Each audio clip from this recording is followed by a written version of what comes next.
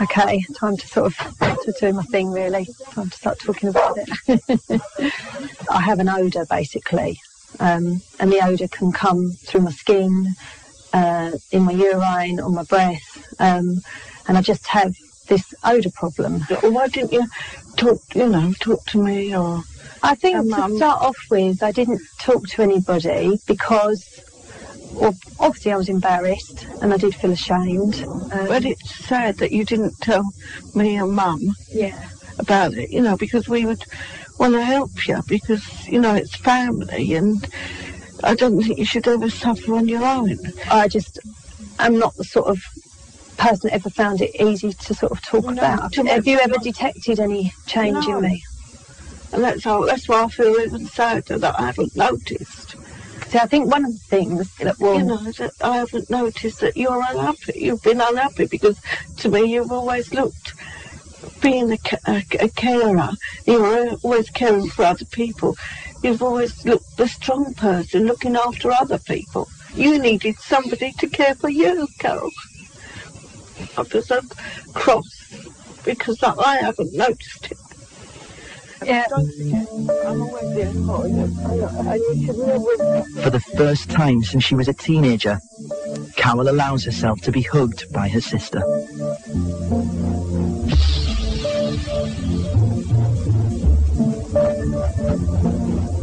it sort of upset my sister a bit, I think, you know, but I don't regret it at all. I'm really glad. They've all put it in proportion for me and all said, you know, it's not a big deal, you're still you, you know, we could have supported you. When we said goodbye today, I gave her a hug. I mean, wow, I gave her a hug.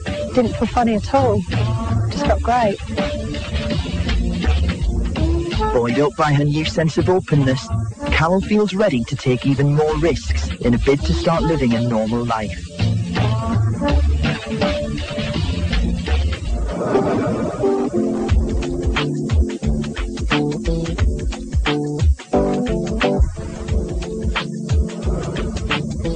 Heard of the smell of fear. Does it really exist? Do emotions have a smell? smells have always been heavily linked to emotions. Um, and we know that animals give off scents for these things. For example, if one member of a group of a species gives off a smell of fear, that's a trigger for everyone else to, to maybe fight or, or flight. Some people argue that we have completely lost the ability to go to animal natures and, and recognize fear and so forth. And so we thought it'd be fun just to see if anyone could actually smell things like fear, happiness, sadness. We tested the theory out by getting Martin to ask three volunteers to watch three different types of film. One is subjected to a scary movie. Another has a laugh enjoying a funny film.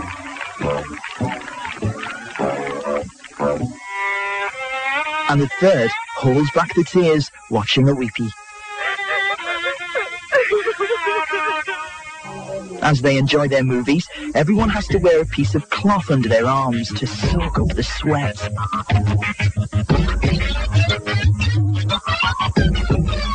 It's in the sweat that you can find a chemical that signals our feelings to each other. All pads look identical, but each one contains a different emotion. There's sadness, fear, and happiness. Now it's time to put our animal natures to the test. I'd like you to tell me which of these has the smell of fear. Okay. Each girl has to take a good sniff and decide which pad fits which emotion. For the first two girls, the sweaty task doesn't go down too well. It would be that one.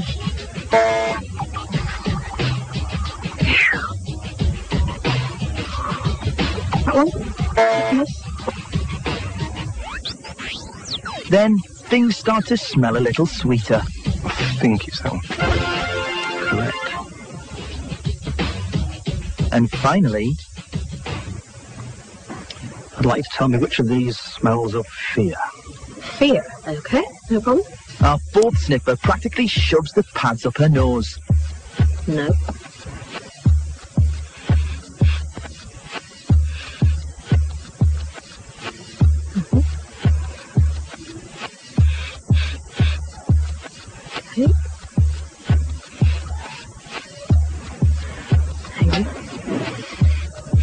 It's this one. It's fair. That's correct. That's good. I'd like you to tell me which one you think is the smell of happiness. Happiness. Okay.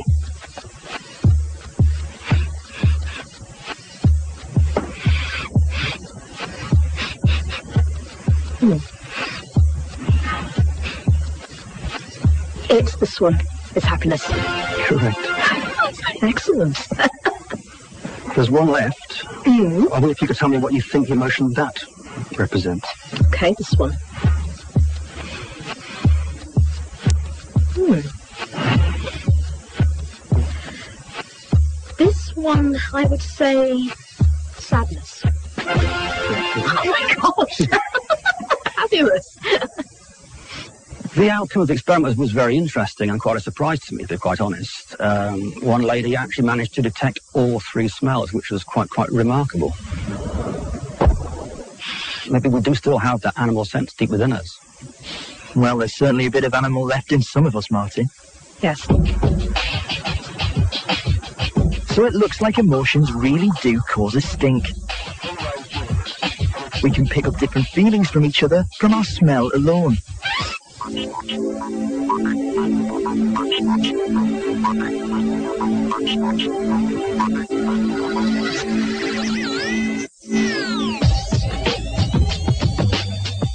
we live in an increasingly sanitized world where we spend billions a year trying to mask our body odors. We haven't always been embarrassed by our smell. Cities 200 years ago had a very strong smell of sewage. Sewers were open. And it was only really in the 19th century that sewers started to get closed off. And so people now were aware for the first time of their own smell. But why do we do this? If personal smell is so important to us, why do we spend so much time and money trying to cover it up? What has turned smell into such a dirty word? About 1850s onwards, people started to believe that the way forward for civilization was not to smell like animals. And so that the mark of being civilized was to have no smell whatsoever. So there's been pressure ever since for people to be almost paranoid about how they smell, hence the huge business in deodorants, fragrances and so forth.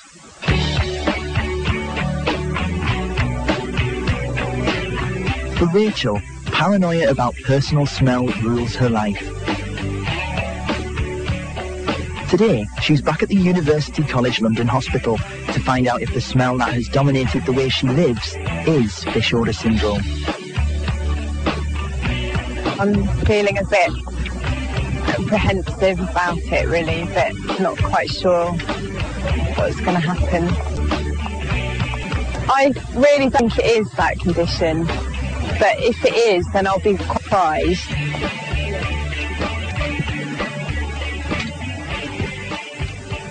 Okay, so you're back for the results of the test we sent off last time. So we sent the urine off to Sheffield, and the results coming back show that there is trimethylamine in the urine, which means that you do have trimethylamine in the urine, Um, which is a diagnosis. So that's that's good from that point of view. After 14 years of feeling like someone who could not control her odour, Rachel has become the 301st person to be diagnosed with fish odour syndrome in the UK. And it doesn't have to be fish odour. It's very much like ammonia, and I think it can smell ammoniacal, um, like smelling salts, if you like, but you know, Right. probably, um, and that is quite unpleasant. But I wouldn't necessarily say it would smell like fish to everybody. No. I was quite surprised by that, wasn't expecting that. And I feel quite relieved actually. It's um, a long time not knowing what it was and just thinking it was, you know, it was me, that, was, um, that it was my fault. And now I know that it's um, it's a medical condition, so it's a relief really to have a diagnosis.